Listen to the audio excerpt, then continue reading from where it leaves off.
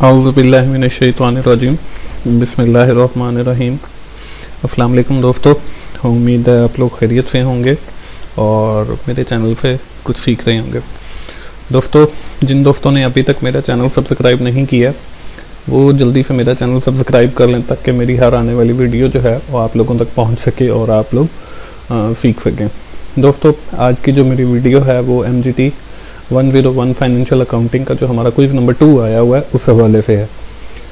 Quiz कुछ ऐसे है इसमें फ़र्स्ट क्वेश्चन है in cost of good sold statement the cost of material consumed is equal to के जो कास्ट ऑफ़ मटेरियल है, वो किसके बराबर होती है? इसमें फ़र्स्ट ऑप्शन है opening raw material inventory plus purchases minus ending inventory और सेकंड ऑप्शन है opening raw material inventory minus purchases plus ending inventory third option है ending raw material inventory plus opening material और minus purchases last में दिया हुआ है ending raw material inventory plus opening inventory और plus purchases तो दोस्तों इसमें जो फ़र्स्ट वाली ऑप्शन है uh, उसमें होता भी यही है cost of good sold statement पे कि ओपनिंग इन्वेंट्री प्लस परचेजेस और माइनस एंडिंग इन्वेंट्री तो हमारा जो फ़र्स्ट वाला है वो इसका ठीक जवाब होगा. नेक्स्ट क्वेश्चन है जी सेकंड uh, पे what will be the amount of purchase if manufacturing concern cost of good sold दो लाख पैंतालीस हज़ार ओपनिंग स्टॉक पंद्रह हज़ार एंड क्लोजिंग स्टॉक पच्चीस हज़ार इसमें कास्ट ऑफ़ गुड सोल्ड देखें हमारे पास दो लाख पैंतालीस हज़ार है ओपनिंग स्टॉक पंद्रह हज़ार है और क्लोजिंग जो है वो पच्चीस हज़ार है। ये थोड़ा सा ट्रिकी है लेकिन मैं इसको इजीली सॉल्व कर लेता हूँ। इसमें फ़र्स्ट ऑप्शन हमारे पास दो लोग दो लाख पाँच हज़ार है सेकंड जो है वो दो लाख पचास हज़ार है। थर्ड पे जो है वो हमारे पास दो लाख पचपन हज़ार है और लास्ट में जो है वो दो लाख पिचासी हज़ार है। अब देखें कास्ट ऑफ़ जो गुड सोल्ड है वो हमारी बनती है कि हम ओपनिंग इन्वेंट्री और प्लस करें उसके अंदर परचेजेस और माइनस करें, उसमें से क्लोजिंग तो हमारे पास आ जाता है जी कास्ट ऑफ़ गुड सोल्ड अब इसके अंदर हमें कास्ट ऑफ़ गुड सोल्ड दिया हुआ है ओपनिंग इन्वेंट्री दिया हुआ है और क्लोजिंग इन्वेंट्री दिया और हमसे परचेजेस पूछा गया। अब देखें, मैंने जो है, इसका वैसे तो करेक्ट आंसर जो है, वो हमारे पास बनता है दो लाख पचपन हज़ार। अब उसको हमने चेक कैसे करना है कि that will be the correct answer of that question तो उसको चेक करने का तरीका ये है कि आप देखें, हमारे पास परचेजेज आ गई हैं ओपनिंग स्टॉक की वैल्यू हमें दी गई है, और क्लोजिंग की भी दी गई है। अब यहाँ पे दो लाख पचपन हज़ार है, इसमें अगर हम ओपनिंग ऐड करते हैं मतलब दो पचपन है तो दो हमारे पास हो जाएगा दो सत्तर। अगर हम दो सत्तर में से पच्चीस माइनस करते हैं तो फिर हमारे पास दो पैंतालीस बचता है। तो इसलिए ये हमारा जो थर्ड वाला है, वो ठीक जवाब होगा।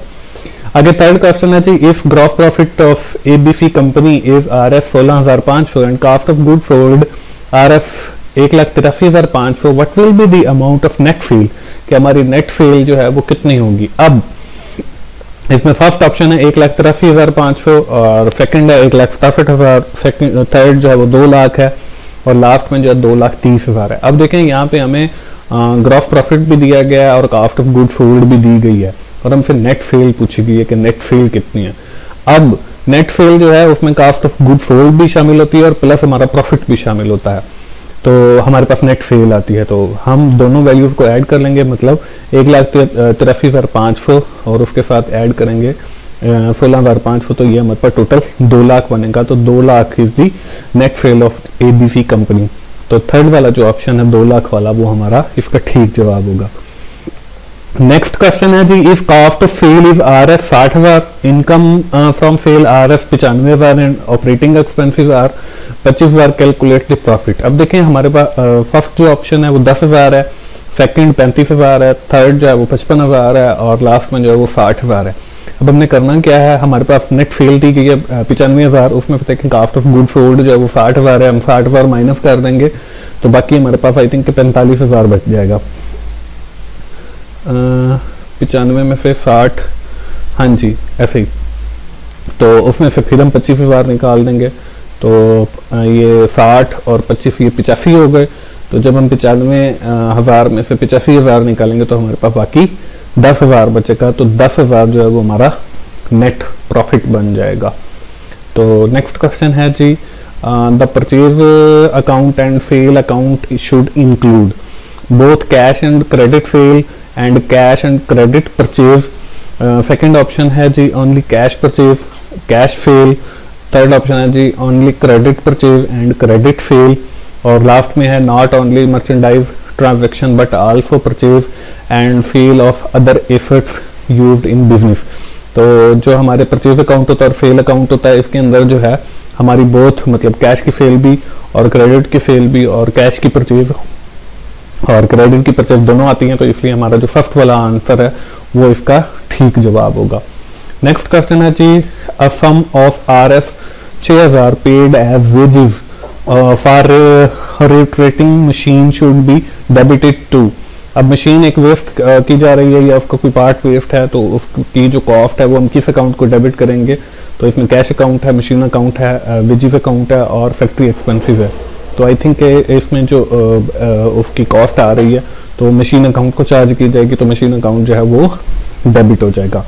नेक्स्ट क्वेश्चन है which of the following content are include in the cost of good sold इसमें देखें हमने opening stock plus purchases minus closing stock अब देखें, दो तो इसमें फॉल कर रहे हैं। जो फ्राइट इन वर्ड है, वो भी कास्ट ऑफ़ गुड सोल्ड का आइटम है, क्योंकि जो किराया हम पे करते हैं अब इन है तो वो चीज़ें हमारी तरफ़ आ रही हैं। तो वो जो चीज़ें जब हमारी तरफ़ आती हैं तो वो कास्ट ऑफ़ गुड सोल्ड को चार्ज किया जाता है। तो अगर फ्राइट यहाँ पे फ्राइड आउट होता तो वो फिर हम आगे चार्ज करते हैं। मतलब ऑपरेटिंग एक्सपेंसिस में या एडमिन में चले जाते हैं। ये तो ये हम, वो या सेल एक्सपेंसिस में चले जाते हैं तो इसलिए ये तीनों चीज़ें जो हैं, वो कास्ट ऑफ़ गुड सोल्ड का आइटम है, इसलिए सारे के सारी जितनी भी चीज़ें हैं, वो हमारा जो जवाब है, वो फोर्थ वाला all of the given option आ जाएगा जी।